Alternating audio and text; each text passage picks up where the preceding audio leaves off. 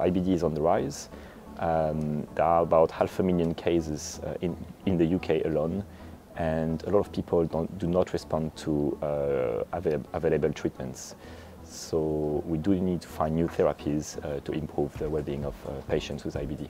Uh, this work involved people working in the lab, but also with a lot of collaboration with hospitals uh, to have access to patients' blood and patient tissues. Starting from genetics, we found a master regulator of inflammatory macrophages that are an important um, immune cell type that's involved in the uh, pathogenesis of IBD. The cool thing that uh, carrying the risk variant would mean that this, uh, this variant is uh, not so much prevalent in the population, but actually it's uh, a very ancient variant that's been selected a long time ago and kept at a high prevalence in the population all over the world.